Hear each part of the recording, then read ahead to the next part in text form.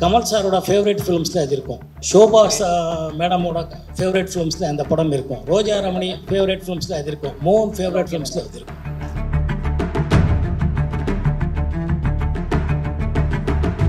எனக்கு தெரிஞ்சு இவர்கிட்ட பேட் இருக்கிற மாதிரியோ பேனா இருக்கிற மாதிரியோ டைலாக் எழுதின மாதிரி இது வரைக்கும் ஸ்பாட்டில் பார்த்ததே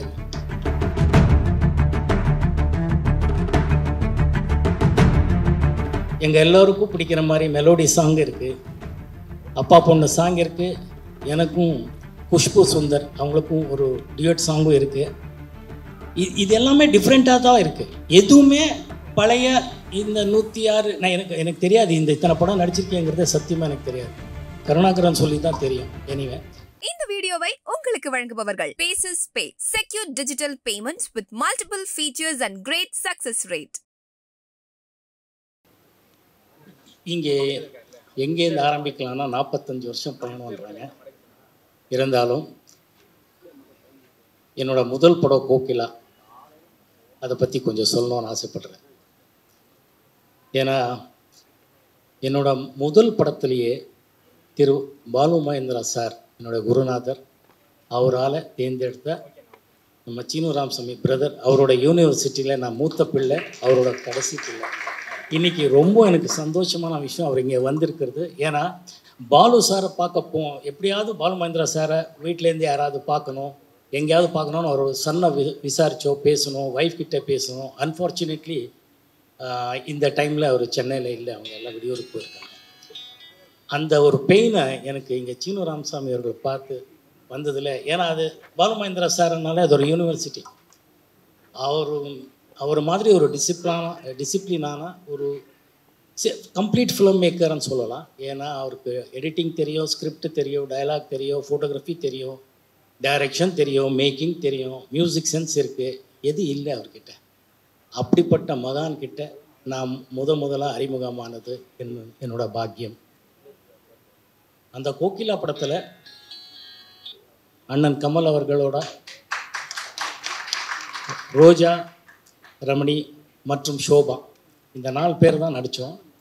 அதில் ஒரு சின்ன உண்மையான சம்பவம் அதை உங்களுக்கு சொல்லிடுறேன் இன்றைக்கி முதல் ஸ்கெட்யூல் பண்ணதுக்கப்புறம் நான் ட்ராமா ட்ரூப் பெனக்கான்னு ஒரு மிகப்பெரிய லெஜண்ட் பிவி காரன் திரு அமைச்சூர் ட்ரூப்பில் இருந்த காலேஜ் பீரியட்லேயே அந்த யூனிட்டில் இருக்கிறவங்க எப்படி இந்த படத்தில் நடிச்சிட்டு இருக்கு இன்ஃபேக்ட் பைதாவே அந்த படத்துக்கு தாடி விட்டுருந்தேன். அதுக்கப்புறம் இப்போ தான் தாடி விட்டுருக்கேன்.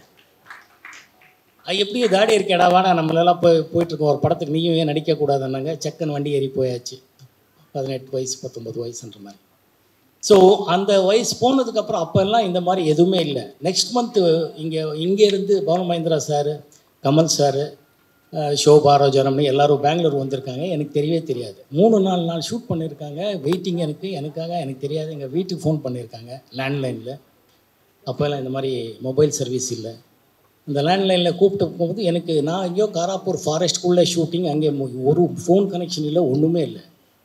எனக்கு தகவல் வந்து டெலிகிராம் மூலமாக வந்து நான் வரதுக்கு கிட்டத்தட்ட ஃபோர் டேஸ் ஆகிடுச்சு ஃபோர் டேஸில் இங்கே வர பார்த்தா பயங்கரமாக வார்ஃபீல்டு மாதிரி இருக்குது லொக்கேஷனில் ஏன்னா அப்போது மிகப்பெரிய பாப்புலர் அப்போவும் இப்போவும் கமல் சார் அப்போ வந்து அவரோட கால் ஷீட் வந்து கிடைக்கிறதே கஷ்டம். அவரோட கால் ஷீட் மிஸ் பண்ணிட்டோமேங்கிற ஒரு சின்ன விஷயம் பாலமகேந்திரா சாருக்கும் அசோசியேட் டைரக்டர் சிவானந்த் சார்களுக்கு எல்லாம் இருக்கும். எனக்கு என்னென்னா எனக்கு தெரியாதுங்கிறது ஒன்று தான் ஐ வாஸ் இக்னரண்ட் அப்போ எல்லாரும் கோச்சிக்கிட்டு ஏன் இப்படி பண்ணேன் அப்படி இப்படின்னுட்டு இருக்கும்போது கொஞ்ச நேரம் அப்படியே சைலண்ட்டாக உட்காந்துட்டு இருந்தாங்க. அப்புறமா கமல் சார் வந்தார். ஆஸ் அ எல்டர் பிரதர் வந்து கேட்டார் எங்கே போயிருந்தீங்க? என்னாச்சுன்னு? அப்போ நான் சொன்னேன் இந்த தெரியல சார் இன்னொரு படம் ஷூட்டிங் ஓ முதல் படத்துலேயே உங்களுக்கு இன்னொரு படம் வந்திருக்குன்னா ரொம்ப நல்ல விஷயம் தான் but make sure you have the one diary call ஷீட்டன் இருக்கும். நீ தான் கேட்கணும். உனக்கு வந்து சொல்லணும்னு இல்லை சார் அதெல்லாம் எனக்கு தெரியாதுன்னு தெரிஞ்சுக்கும். You make sure that you write down the call sheets of any film அப்போ நீ கிளாஷ் பண்ண கால் ஷீட் டேட்ஸ் கன்ஃபியூஸ் ஆகாது அப்படியெல்லாம் சொல்லி சொன்னார். அதை அப்படியே ஃபாலோ பண்ணேன். ஐ am so happy Kamal sir அன்னைக்கு எனக்கு தனியாக கூட்டிகிட்டு போய் இது சொன்னதில் எனக்கு பெருமை இருக்கு. கோகிலா படம் சொன்னாலே இன்னைக்கு பார்த்தாலும் அப் அப் அவ்வளோ அப்டேட்டடாக ஃபிலமாக இருக்கும். சின்ன ராமசாமி சார் பார்த்துருப்பாருன்னு நினைக்கிறேன். Black and white film but one of the extraordinary films அதோட சிறப்பு என்னன்னா கமல் சாரோட ஃபேவரட் ஃபிலிம்ஸில் அது இருக்கும். ஷோபா சா மேடமோட ஃபேவரட் ஃபிலிம்ஸில் அந்த படம் இருக்கும். ரோஜா ரமணி ஃபேவரட் ஃபிலிம்ஸில் அது இருக்கும். மோகன் ஃபேவரட் ஃபிலிம்ஸில் அது இருக்கும். That is the greatness of Balu Mahendra sir அவர் வீட்டிலேருந்து யாரையும் கூப்பிட முடியலையே வர முடியலையே மீட் பண்ண முடியலையே போது இன்னைக்கு சீனு ராமசாமி அவர் அந்த யூனிவர்சிட்டியில் வந்தது எனக்கு ரொம்ப பெருமையாக இருக்கு. ஹரா. இது வந்து என்ன சொல்கிறது என்னை வந்து சீனு ராமசுவாமி அவர்கள் சொன்ன மாதிரி ரொம்ப ரொம்ப டிஃப்ரெண்ட்டாக ரொம்ப நல்லா கன்வின்சிங்காக எடுத்துட்ருக்காரு விஜய் ஸ்ரீ ஜி அவர்கள். இதுக்கு உழைப்பாளி நாயகன் முரு நிக்கில் முருகன் அவர்களும் முக்கியமான காரணம். அவரும் அவ்வளோ பொறுமையாக இருந்து பவுடர்களை முடிச்சு கொடுத்து என் மின் பியூட்டிலேருந்து முடிச்சு கொடுத்து இதெல்லாம் பண்ணிகிட்ருக்கிறாரு பட் இருந்தாலும் என்ன சொல்ல வரேன்னா இவரு இவரோட அப்ரோச் ஆஃப் ஸ்க்ரீன் ப்ளே இவரோட அப்ரோச் ஆஃப் டயலாக்ஸ் எதுவுமே இது வரைக்கும் நான் பார்க்காதது என் ஹிஸ்ட்ரியிலேயே எனக்கு தெரிஞ்சு இவர்கிட்ட பேட் இருக்கிற மாதிரியோ பேனா இருக்கிற மாதிரியோ டைலாக் எழுதின மாதிரி இது வரைக்கும் ஸ்பாட்டில் பார்த்ததே இல்லை. நான் பார்த்ததுல மணிவண்ணன் சார் மட்டும்தான் அப்பப்போ இந்த மாதிரி டைலாக் ஸ்பாட்டில் சொல்லி அசிஸ்டன்ட்ஸ் அசோசியேட் எழுதுப்பாங்க. இங்கே யார் எதுவுமே இல்லை. Is all in all production பார்த்துப்பாரு. கதை திரைக்கதை வசனம் இயக்கம் லிரிக்ஸு கேமரா லைட்டிங் முதல் கொண்டு எடிட்டிங் டிஐடிலே வரைக்கும் he knows the job I am so happy I am so blessed I selected this gentleman for Hara thank you so much thank you Vijay உங்கள் எல்லாருக்கும் பிடிக்கிற மாதிரி இந்த படம் இருக்குது எல்லாரும் நினைக்கிற மாதிரி வெறும் ஆக்ஷன் இருக்காது. இதில் எமோஷன் கனெக்ட் அவ்வளோ நல்லா இருக்குது அதனால தான் ஒத்துருக்கேன். அப்பா பொண்ணுக்கு இருக்கிற ஒரு கதை இதில் ரொம்ப ரொம்ப டிஃப்ரெண்ட்டாக பண்ணியிருக்கிறார் எங்கள் எல்லோருக்கும் பிடிக்கிற மாதிரி மெலோடி சாங் இருக்குது அப்பா பொண்ணு சாங் இருக்குது எனக்கும் குஷ்பு சுந்தர் அவங்களுக்கும் ஒரு டியூட் சாங்கும் இருக்குது இது இது எல்லாமே டிஃப்ரெண்ட்டாக தான் இருக்குது எதுவுமே பழைய இந்த நூற்றி ஆறு நான் எனக்கு எனக்கு தெரியாது இந்த இத்தனை படம் நடிச்சிருக்கேங்கிறத சத்தியமாக எனக்கு தெரியாது.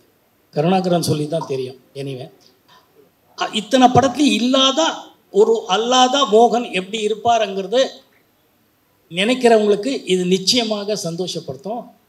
நான் என்னை பொ பொதுவாக பிடிக்கிறவங்களுக்கும் இது ரொம்ப ரொம்ப பிடிக்கும்ன்றது என்னோட கட் ஃபீலிங் தப்பு வராது எவ்வளோ சக்ஸஸ்ங்கிறது உங்கள் கையிலே தான் இருக்குது எப்போவுமே என் நான் வந்து படங்களை நடித்தாலும் நடிக்காட்டியும் என்னோட கூடவே இருக்கிறது என்னோட ஃபேமிலிங்கிறது தவிர நீங்கள் தான். என்னோடய ஃபேன்ஸ் வந்து எப்போவுமே எனக்கு வந்து மீட் பண்ணுவாங்க.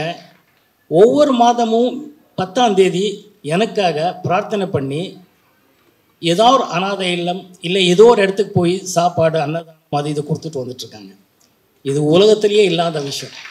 இதை நான் ரொம்ப பெருமைப்படுறேன். இது யாருக்காகவோ எந்த நடிகர்களுக்காகவோ ஒரு ரசிகர் மன்றத்துக்காக நான் சொன்னதில்லை. இது முழுக்க என்னுடைய ஃபேன்ஸ் பண்ணிட்டு இருக்கிறதுங்கிறது ஒரு ரொம்ப கர்வம் இருக்கு ரொம்ப ரொம்ப கர்வம்.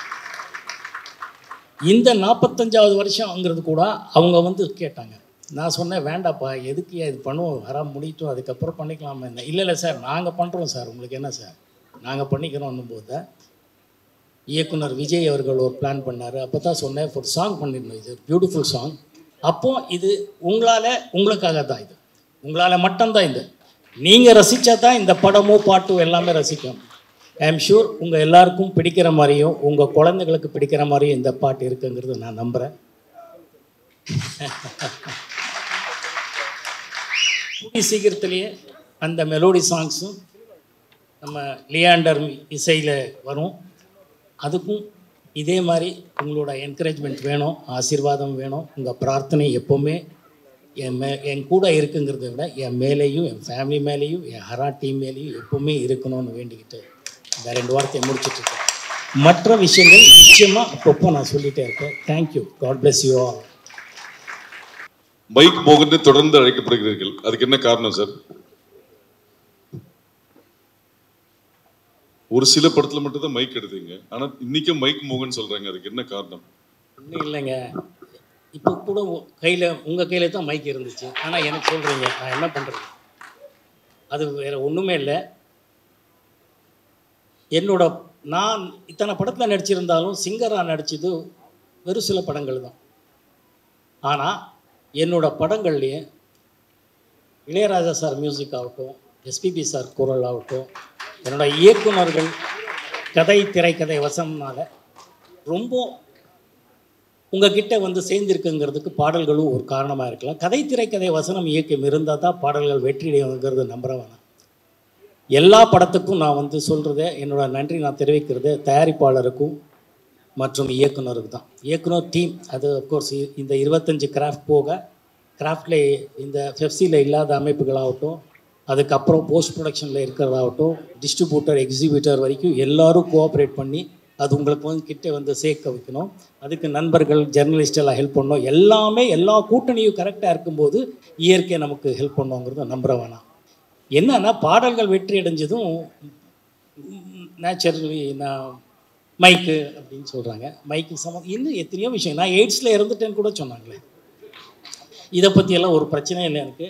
என்னை பற்றி எந்த வாத விவாதம் எங்கே வந்தாலும் என்னோட நண்பர்களுக்கும் என்னோட குடும்பத்துக்கும் நான் யாருன்னு தெரியுங்கிறதுனால உங்களோட ஆசீர்வாதம் இருக்கும் முறை எதை பற்றியும் எனக்கு பிரச்சனை இல்லை. நல்லா இருக்கும் தேங்க்யூ நன்றி சார்